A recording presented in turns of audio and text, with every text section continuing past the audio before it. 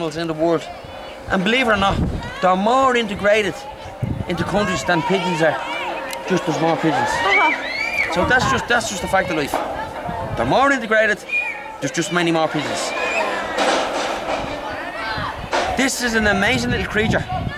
Scientific fact states that this animal can hear the mouse at a mile away.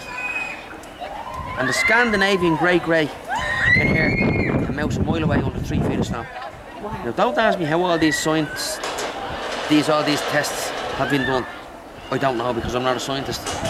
But I know what I read to educate myself. The satellite dish was invented from these two birds. Really? So you've got Sky Satellite and you've this, that. Yeah, because you can see this face. This face is an attraction.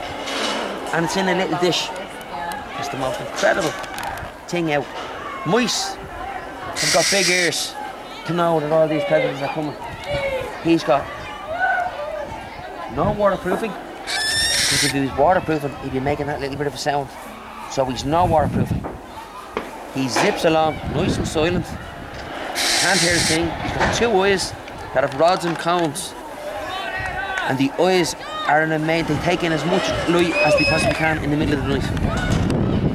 They don't go out when it's wet or windy because they're far too light. Mm, they're far too wet. They're far too light. Oh. They get blown all over the place.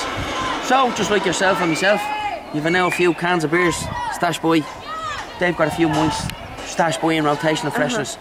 Because they've got to survive because their body weight is so small. They're not like your red tails. If the weather's bad, a red tail can sit up there for 10 days with no food because he's got a big body mass. These haven't. And can't put on a big body amount. So it's very, very important for nature. Now, you can see already he's got a pal. So he can realise, you know, he realised that everything here is just happy and calm.